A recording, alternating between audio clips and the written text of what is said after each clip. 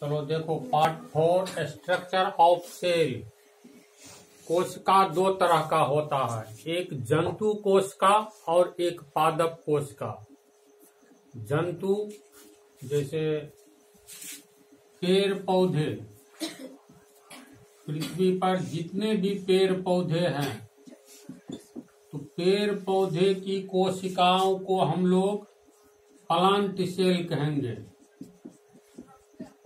यानी हिंदी इसका हुआ पादप कोशिका। और पेड़ पौधे को छोड़कर जितने भी तरह के जीव जंतु होते हैं, तमाम जीव जंतु को पादप कोशिका, प्लांट के कोशिका को कहेंगे और पेड़ पौधे को छोड़कर जितने भी तरह के जीव जंतु, लाखों तरह के जीव जंतु होते हैं उनके कोशिकाओं को हम लोग जंतु कोशिका कहेंगे। तो कोशिका दो तरह का, एक पेड़ पौधे का कोशिका, जिसका नाम हो गया प्लांट सेल, पादप कोशिका। और पेड़ पौधे के कोशिका को छोड़कर जितने भी तरह के जीव जंतु होते हैं तो उन जीव जंतुओं के कोशिका को हम लोग जंतु कोशिका कहेंगे। और ये जंतु कोशिका का चित्र है। तो किसी भी जीव जंतु की कोशिका हो, सबका स्ट्रक्चर एक जैसा होता है, सबकी बनावट एक जैसे होती है। तो हम लोग उदाहरण ले कोशिका कोई भी हो, बाल की कोशिका हो, नाखून की कोशिका हो, हड्डी की कोशिका हो, लीवर की कोशिका हो किसी भी अंग की कोशिका हो, तमाम कोशिका की बनावट एक ही तरह की होती है। तो कोशिका को मुख्य रूप से तीन भागों में बांटा गया है। इससे पहले ये सब जो आकृति देख रहे हो, ये संपूर्ण कोशिका का फिगर है और कोशिका का ये सब अंग है। जितना भी देख रहे हो ये सब कोशिका का अंग हो गया जिसे कहा जाता है कोशिकांग।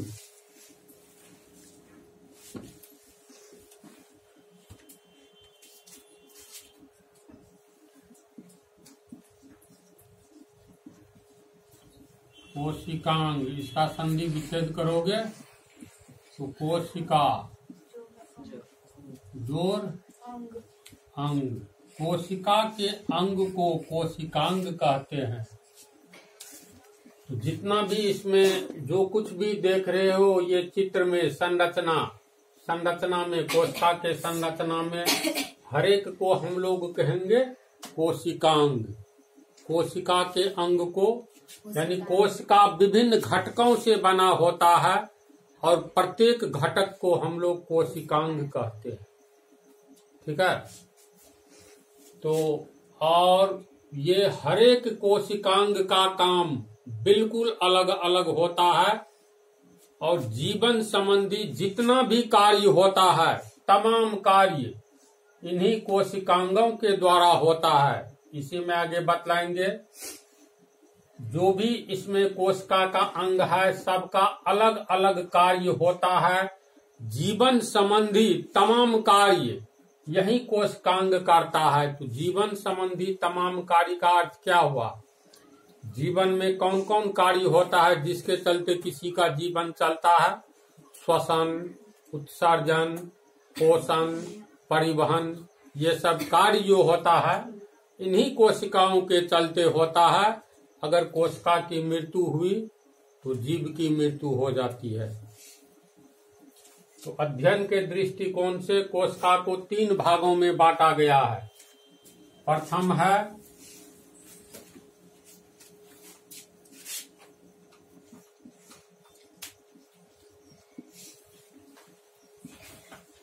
कोशिका झिल्ली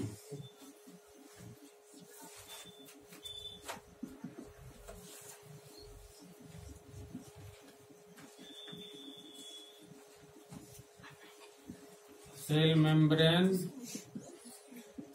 दूसरा है कोश का द्रव्य, और तीसरा हो गया केंद्रक तो जैसे हम लोग आम खाते हैं तो आम की संरचना में क्या होता है? सब आम किन चीज़ों से घिरा होता है? एक प्रकार का परत, यानी छिलका से तो कोशिका भी एक प्रकार के परत से घिरा होता है। इलेक्ट्रॉन सूक्ष्मदर्शी से देखने पर, ये जो देख रहे हो, ये वृत्त जैसा, इसी का नाम है कोशिका झिल्ली। जैसे आम का छिलका होता है ना, आम के छिलके के भीतर गुद्दा होता है आम का और बीच में क्या होता है? आठी। इसी तरह कोशिका के मध्य में, ठीक मध्य में होता है केंद्रक आम में आठी होता है तो कोशिका में होता है केंद्रक और आम का छिलका समझ लो, कोशिका झिल्ली हो गया और आम के छिलके एवं आठी के बीच में जितना भी कुछ देख रहे हो, गुद्दा जो होता है तो उसको यही समझ लो केंद्रक और कोशिका झिल्ली के बीच में। जो कुछ भी है, इसका नाम है कोशिका द्रव्य कोशिका द्रव्य याद रहेगा? कोशिका चारों ओर से एक प्रकार की झिल्ली से घिरी होती है और बीच में केंद्रक होता है। केंद्रक एवं कोशिका झिल्ली के बीच के पदार्थों को, इन तमाम पदार्थों को कहा जाता है कोशिका द्रव्य ये टर्म याद रखना है। कोशिका झिल्ली से कोई भी कोशिका घिरी होती है इसके ठीक मध्य में केंद्रक होता है और केंद्रक एवं कोशिका झिल्ली के बीच में जितना कुछ है इसका नाम क्या हो गया? कोशिका द्रव्य। तीन टर्म याद रह जाएगा। कोशिका झिल्ली जिनसे कोशिका चारों ओर से घिरा होता है ठीक बीच में हो गया केंद्रक। केंद्रक एवं कोश का झिल्ली के बीच में जो कुछ भी है, इसका नाम हो गया कोश का द्रव्य। इसके बाद एक टर्म होता है, सबके बारे में हम बतलाएँगे कोशिका झिल्ली। कोश का चारों ओर से एक पतली झिल्ली से घिरी होती है, जो दोहरी परत वाली होती है, और केंद्रक ठीक बीच में होता है तो कोशिका द्रव्य केंद्र का कोशिका झिल्ली के बारे में समझा?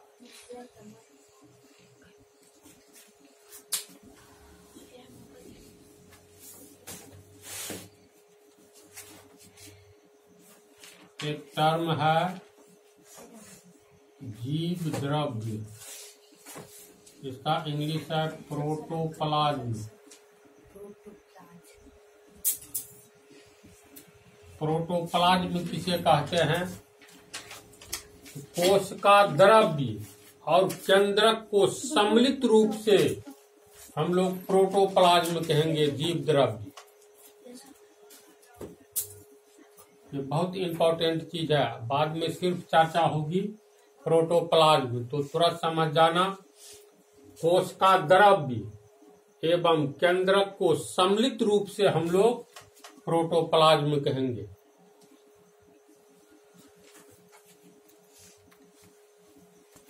तो कोशिका झिल्ली, समझ गया ना? कोई भी कोशिका अपने चारों ओर एक झिल्ली से घिरी होती है, जिसे कोशिका झिल्ली कहते हैं। इंग्लिश में प्लाज्मा मेम्ब्रेन, इसका नाम है। तो उदाहरण जो अभी दिए हैं, फल का, आम का तो ठीक कोशिका भी अपने चारों ओर जिस झिल्ली से बंद रहता है, उस झिल्ली का नाम है कोशिका झिल्ली, अर्थात प्लाज्मा मेम्ब्रेन। तो देखो कोशिका के चारों ओर, ये तुम लोग को हम लिखा देते हैं। अपना लिख लेना कोशिका के चारों ओर एक बहुत मुलायम, पतली और लचीली झिल्ली होती है। ये कोशिका के चारों ओर जो है, ये काफ़ी सॉफ्ट है। मुलायम है लचीली। लचीली सब जानता है ना? लचीली होती है और बहुत पतली होती है जिसे कोशिका झिल्ली या प्लाज्मा मेम्ब्रेन कहते हैं। ये झिल्ली जीवित यानी ज़िंदा रहता है जीवित है मृत नहीं। इसके बाद अर्ध पारगम्य होता है। अर्ध पारगम्य का अर्थ समझता है। अर्धपारगम्य का अर्थ हुआ जिसके आर पार कोई भी वस्तु प्रवेश कर सके। तो उसको अर्धपारगम्य कहते हैं। जैसे आटा चालने वाला नहीं होता है, जी। जिसमें छोटे छोटे आटा के कण निकल जाते हैं और ये उसका भूसा, जो भूसी ऊपर में रह जाता है, उसी टाइप का ये अर्धपारगम्य होता है, जिसमें जिस झिल्ली से ये बहुत महीन पदार्थ भीतर जा सकता है और भीतर से बाहर आ सकता है। सब तरह का पदार्थ नहीं। इसीलिए इसे चयनात्मक अर्धपारगम्य झिल्ली भी कहते हैं। चयनात्मक यानी कुछ चयनित पदार्थ सिलेक्टेड पदार्थ ही। कोशिका के भीतर जा सकता है और भीतर से बाहर आ सकता है। इसीलिए इसे अर्धपारगम्य झिल्ली कहते हैं। इलेक्ट्रॉन सूक्ष्मदर्शी से देखने पर ये दोहरी परत वाली नज़र आती है। यानी डबल लेयर वाला ये झिल्ली नज़र आता है, जिसमें इलेक्ट्रॉन सूक्ष्मदर्शी से देखने पर इसमें महीन महीन छिद्र दिखलाई देते हैं और इसी छिद्र के द्वारा कोशिका के भीतर पचे हुए भोजन का अंश आता है। श्वसन में पढ़ोगे, पचे हुए भोजन का अंश इसमें आता है। और कोशिका में ही ऑक्सीजन श्वसन के रूप में जो हम लोग लेते हैं तो ऑक्सीजन की उपस्थिति में उसका ऑक्सीकरण होता है, यानी दहन होता है, जिससे ऊर्जा पैदा होती है। कल्पना करो, अगर इस झिल्ली में महीन छिद्र नहीं रहे तो कोई भी पदार्थ इसके भीतर नहीं आएगा और संपूर्ण शरीर कोशिका से ही बना हुआ है। कोई भी अंग ऐसा शरीर में नहीं है जो कोशिका से नहीं बना हुआ है। सबकी अपनी अपनी कोशिकाएँ होती है, जिसकी बनावट अलग होती है, लेकिन प्रत्येक कोशिका में वही कोशिकांग होता है, जो कि किसी भी कोशिका में, किसी भी जंतु कोशिका में एक ही तरह का कोशिकांग होता है, जैसे माइटोकॉन्ड्रिया। शरीर का कोई भी अंग क्यों न हो।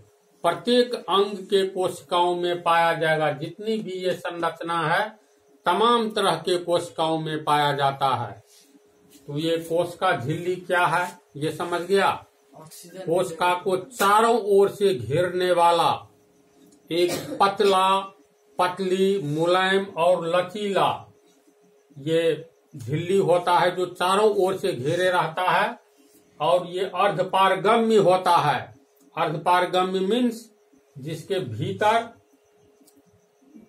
सूक्ष्म महीन पदार्थ जा भी सकता है और आ भी सकता है। सब पदार्थ नहीं, चयनात्मक सिलेक्टेड पदार्थ भीतर, कोशिका के भीतर इसी छिद्र से जाता है, जो कोशिका झिल्ली में जो महीन छिद्र होता है और उत्सर्जन के समय में इससे बेकार पदार्थ इसी छिद्र से कोशिका झिल्ली के छिद्र से बाहर निकलता है।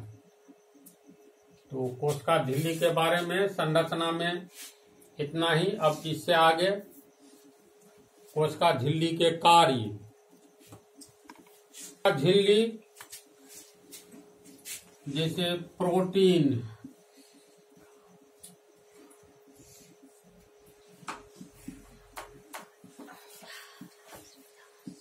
और लिपिड का बना होता है। दो परत इसका प्रोटीन का होता है, अब बीच में लिपिड होता है।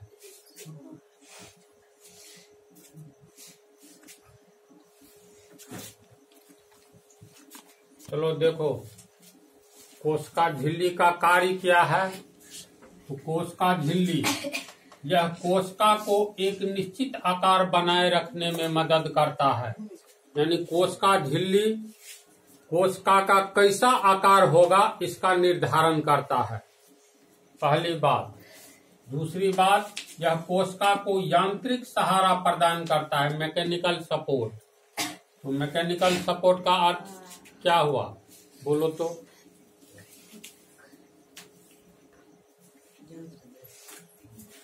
यह कोशिका को यांत्रिक सहारा प्रदान करता है। अच्छा ये बतलाते हैं। ये समझ गया ना कोशिका झिल्ली कोशिका के आकार को निर्धारित करता है। कोशिका कैसा होगा, नहीं होगा, यह कोशिका का एक निश्चित आकार बनाए रखता है। इसके बाद यह भिन्न भिन्न प्रकार के अणुओं को बाहर निकलने एवं अंदर आने में नियंत्रण करता है। जैसे इसके भीतर में कौन सा पदार्थ जाएगा? इसके भीतर का कौन सा पदार्थ निकलेगा, इसका निर्धारण कोष का झिल्ली करता है। चूँकि ये अर्धपारगम्य होता है, सब तरह का पदार्थ इसके भीतर नहीं जा सकता है, और सब तरह का पदार्थ इसके भीतर से बाहर नहीं निकल सकता है। जैसे चलनी का अभी उदाहरण दिए तो चलनी से आटा के कण निकल सकते हैं, लेकिन भूसी नहीं नहीं निकलेगा। तो चलनी नियंत्रित करता है ना, भूसी को भीतर जाने से। तो उसी तरह कौन सा पदार्थ इसके भीतर जाएगा और भीतर का कौन सा पदार्थ बाहर निकलेगा, इसका नियंत्रण यही कोष का झिल्ली करता है। दूसरी बात, इसको मैकेनिकल सपोर्ट प्रदान करता है। मैकेनिकल सपोर्ट का अर्थ हुआ, जैसे ये तो अत्यधिक मुलायम, पतली एवं लचीली झिल्ली होती है ना। तो अत्यधिक मुलायम और लचीली होने के कारण इसको एक भीतर में देखो कितना कुछ पाया जाता है। बहुत कुछ है न जी। तो बहुत कुछ पाए जाने के कारण ये सब भीतर में, भीतर से बाहर नहीं आवे, क्योंकि जो भी कोशिकांग है तो ये चयनात्मक पदार्थ को ही बाहर जाने देता है और चयनात्मक पदार्थ को ही भीतर आने देता है। किसी फालतू पदार्थ का प्रवेश इसमें नहीं हो सकता है और इसके भीतर जो कुछ भी है, ये चयनात्मक पदार्थ ही बाहर निकल सकता है। इसके लिए एक ये सपोर्ट का काम करता है। कौन सा पदार्थ बाहर निकलेगा और कौन सा पदार्थ भीतर आएगा, इसी को कहते हैं मैकेनिकल सपोर्ट प्रदान करता है। तो मुख्य रूप से इसका बनावट जो है ना, ये याद रखना है। इसका कार्य क्या है, ये याद रखना है। महत्वपूर्ण है ये सब। नेक्स्ट पर आओ।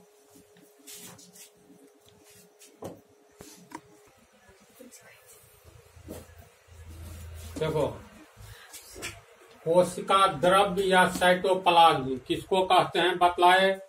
कोशिका झिल्ली एवं केंद्रक के बीच में जो कुछ भी देख रहे हो, उसी का नाम है कोशिका द्रव्य। इंग्लिश में इसको साइटोप्लाज्म कहा जाता है। समझ गया? और बोले हैं, अब ये कोष का द्रव्य एवं केंद्रक को मिला करके पूरे को कहा जाता है जीव द्रव्य। समझ गया ना? तो कोश का द्रव्य अलग है, जीव द्रव्य अलग हो गया। कोष का द्रव्य एवं केंद्रक को मिलाकर के जीव द्रव्य कहा जाएगा। कोष का द्रव्य कहा जाता है यानी साइटोप्लाज्म कोश का झिल्ली एवं केंद्रक के बीच वाले भाग को बीच वाले पदार्थ को कोशिका द्रव्य कहा जाता है। तो जीव द्रव क्या हो गया समझा? जीव द्रव हो गया केंद्रक सहित। ये कोश का द्रव को मिला करके। कोश का झिल्ली और केंद्रक के बीच वाला कोश का द्रव हो गया।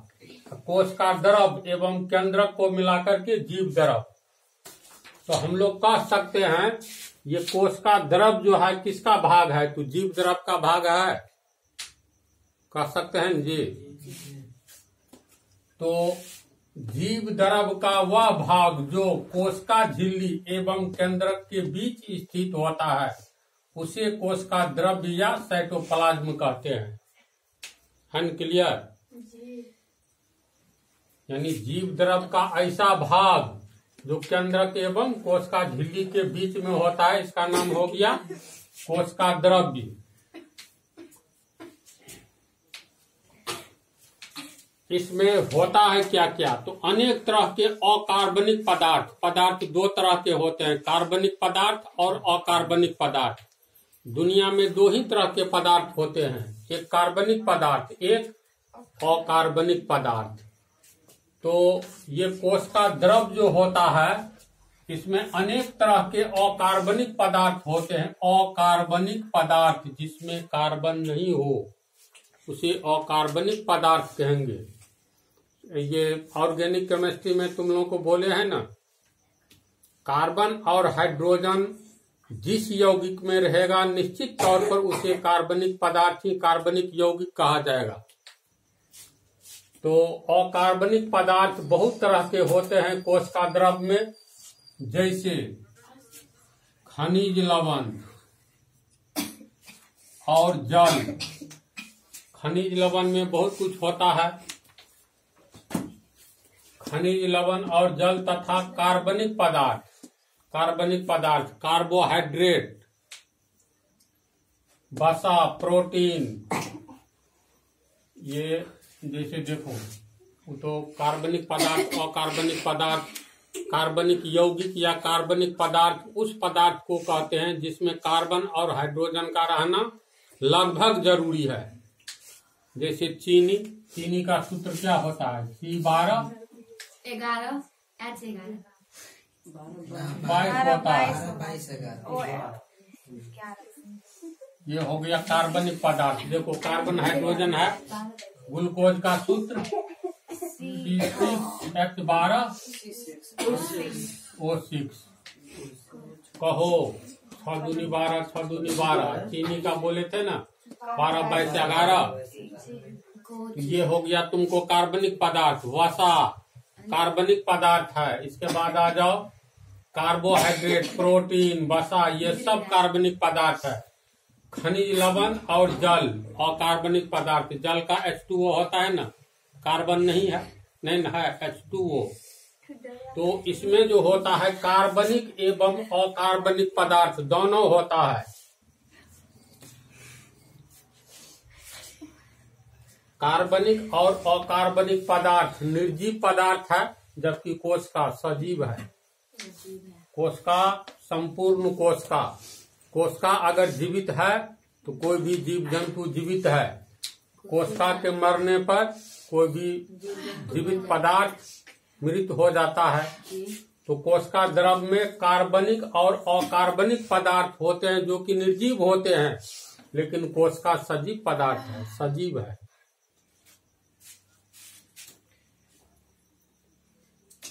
ये कोशिका द्रव होता है कैसा? तो गाढ़ा। पारभासी पारभाषी जानते हो, जिसके आर पार नहीं दिखाई दे, उसे अपारदर्शक, जिसके आर पार दिखाई दे, उसे पारदर्शक। और कागज़ में तू तेल लगा दो, या शीशा में ही तेल रगड़ दो तो धुंधला दिखलाई देगा, उसको कहेंगे पारभाषक। तो ये जो इसमें कार्बनिक और अकार्बनिक पदार्थ होता है, ये पारभाषक होता है। यानी इसके आर पार पूर्ण रूप से नहीं दिखलाई देगा इसके बाद ये गाढ़ा होता है और कोशिका द्रव जो होता है इस कोशिका द्रव में बहुत तरह की संरचनाएँ पाई जाती हैं जो कि जीवित होता है ये सब जो संरचना होती है ये सब जीवित है सजीव है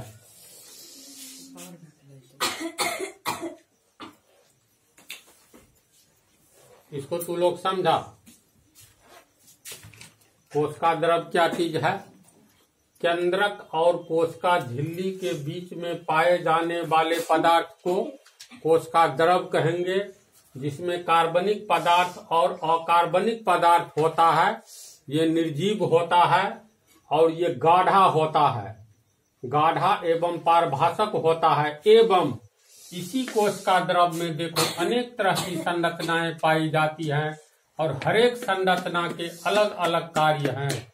जिसको अगले पार्ट में बतलाएँगे, माइटोकॉन्ड्रिया का अलग कार्य है, लाइसोसोम का अलग कार्य है। इसके बाद आ जाओ, गौलजी का का सेंट्रोसोम लाइसोजोम इस सब का अलग अलग कार्य है। अगले पार्ट में ये बतलाएँगे।